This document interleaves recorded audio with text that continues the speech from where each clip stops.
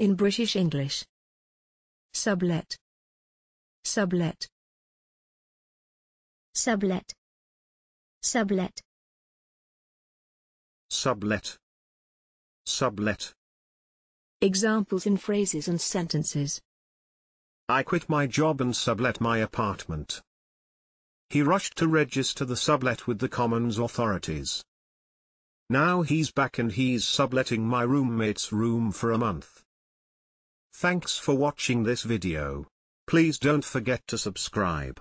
You can find similar videos for each and every English word in the dictionary on our website.